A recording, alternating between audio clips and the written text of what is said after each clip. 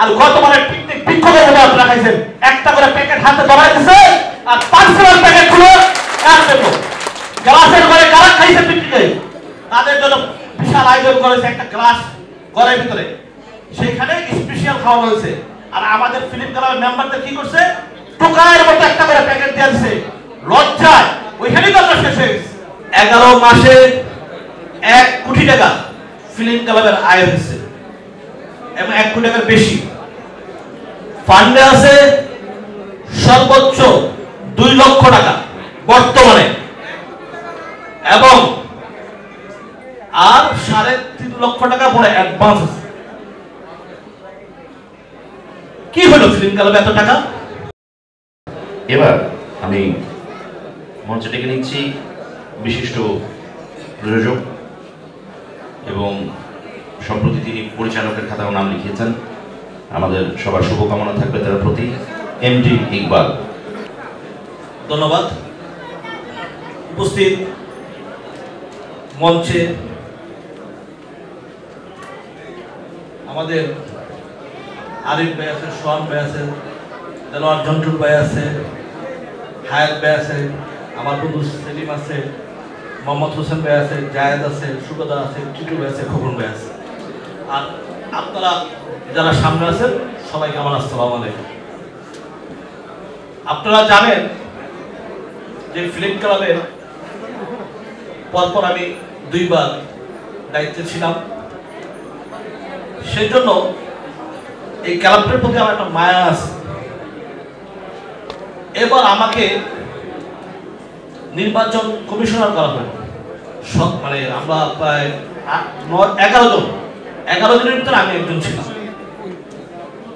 বেশ, আমি কিছু বলিও নাই।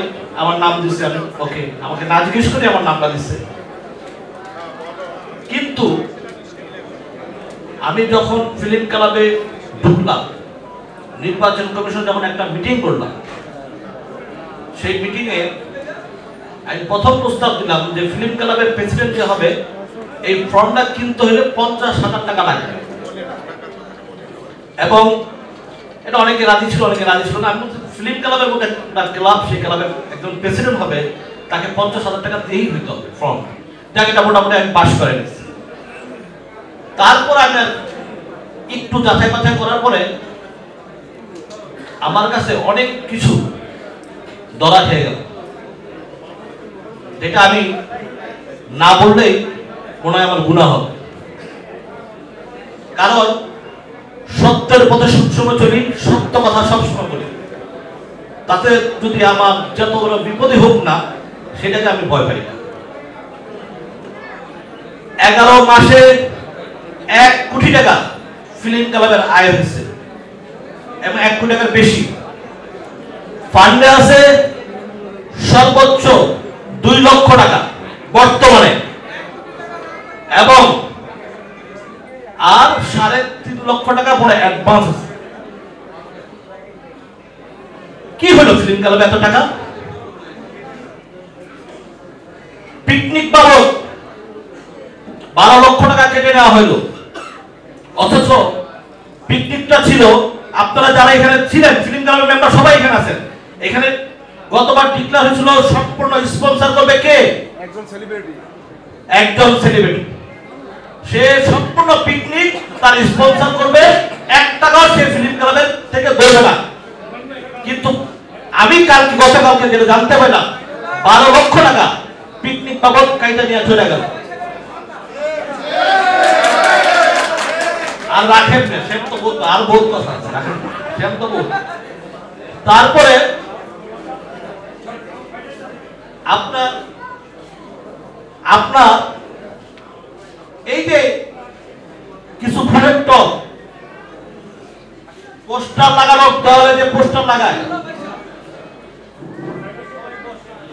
কিছু ফার্নিচার ডেকোরেশন করছে, বা দুই একটা এসি হয়তো লাগছে তাতে কি ষাট থেকে সত্তর লক্ষ টাকা শেষ? আরে ষাট থেকে সত্তর লক্ষ টাকা তো পাঁচতলা বিল্ডিং করব। যদি ষাট থেকে সত্তর লক্ষ টাকা, এ তো পাঁচতলা বিল্ডিং করা যায়। একজন কালকে বহুত গর্ব করে এখানে বলে গেল, একজন নাকি ব্যাংক ব্যাংকের কাছে আমার প্রশ্ন কি করলেন? ফিলিং কালার আমিও গেছি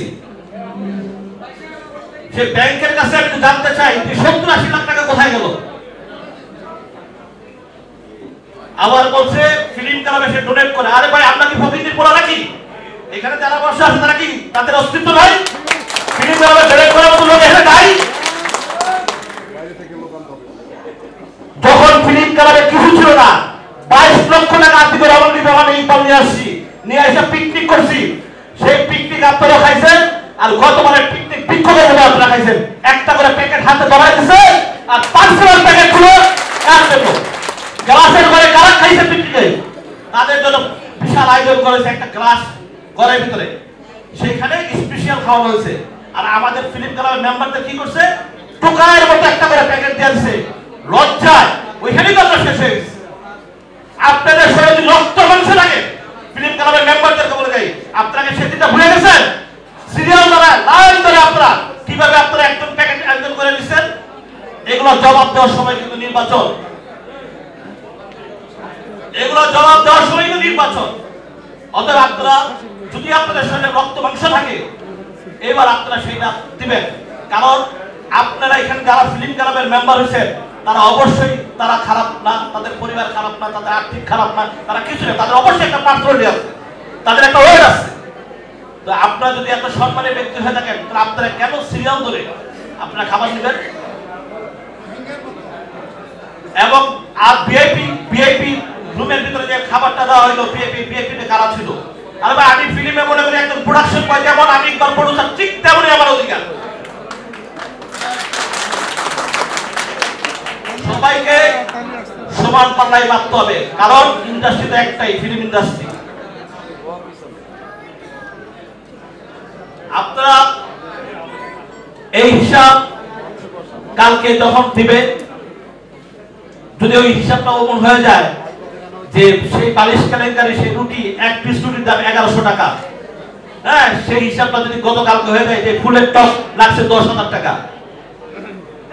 হ্যাঁ দুই লাখ করেন এই ওয়াল খরচ লাগছে আমার বিশ লক্ষ টাকা। এই হিসাবটা আপনারা একটু মাথায় রেখে। এবং আপনারা আপনারা একটা জিনিস যখন ফিল্ম ক্লাবটাকে নিকেতন নেওয়া হইল, তখন কিন্তু মোটামুটি আমরা এই ক্লাবটাকে জমজমাট করার জন্য আমরা অনেক ধরে চেষ্টা করছি এবং সেখানে অনেক রকমের সমস্যা হয়েছে সেই সমস্যা সমাধান কিন্তু আমি ভালো করছি। কিন্তু তার বিনিময়ে দেখলাম কি? তার বিনিময়ে দেখলাম লুটপাট। কালকে একজন ব্যক্তি বলতেছে, ব্যাংক নাকি সাত আট জনকে টাকা পয়সা দেয়। তা আমি সেই প্রশ্ন করি ব্যাংকে সেই টাকাগুলো কই আপনি? সাত আট জনকে আপনি টাকা পয়সা দেন দিয়ে যে ফিল্ম ক্লাবে আপনি সাত আট জনকে বন্ধ করে রাখেন। এই টাকাটা কার? এই টাকাটা আপনার আমার।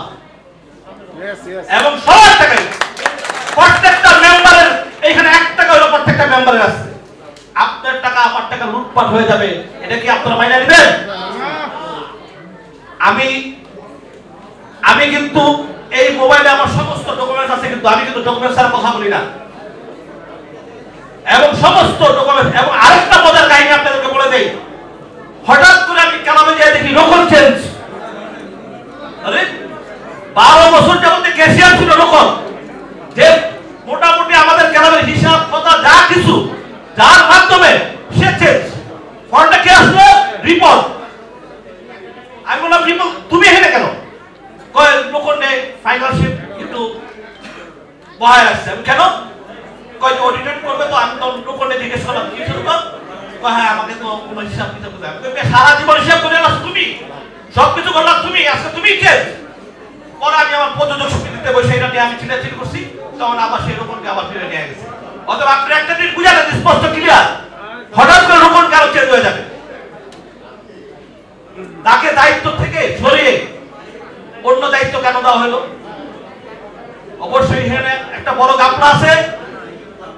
এই সত্য কথা বলার জন্য আমি কিন্তু নির্বাচন কমিশনের পদত্যাগ করছি, কারণ আমি জানি কেউ বলবে না এই সত্য কথা বলা। কেউ বলবে না। কারণ আমি সত্য কথা বলার জন্য কিন্তু আমি নির্বাচন কমিশন করছি। আর একটা বিষয় আমি দেখলাম, শুনলাম। আমাদের ক্লাবে একটা গেম হয়। আটটা, দশটা, বিশটা, পনেরোটা গেম হয়। কালকে একজন বলতেছে যে একটা পনেরোটা গেম হয়েছে। পনেরোটা গেম থেকে একটা ভালো টাকা আসে। সেখানে দেখা হয়েছে নাকি দশটা গেম পাঁচটা গেম টাকা নাই। সেটা নিয়ে নাকি ইনকোয়ারি হয়েছে, সেটা নাকি ইনকোয়ারি টিম হয়েছে। এবং সে তদন্ত কমিটি হয়েছে। আট মাস যাবত সে তদন্ত কমিটি এখন পর্যন্ত রেজাল্টই দেয় না।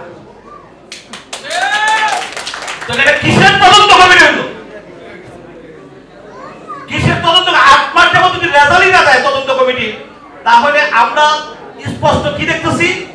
চোখে দেখতেছি এক কোটি টাকা লুটপাট, এক কোটি টাকা পুরো লুটপাট হয় নাই বললাম নাই।